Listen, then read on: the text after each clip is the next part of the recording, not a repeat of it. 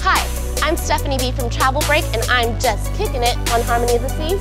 There's over 3,000 pieces of art on this ship, so I'm gonna show you around. I see art around the world, but what I love about this ship is that I get it all in one place. This is Head by David Černý. Let's take a closer look. This is the biggest piece on the ship. It weighs tons. I mean, literally five tons. Wait till you see this. This is the Ivy, and this is the best way to look at it.